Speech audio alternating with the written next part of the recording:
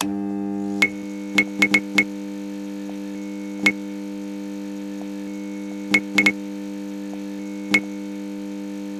push my fingers into my eyes. It's the only thing that slowly stops the ache. But it's made of all the things I have to take.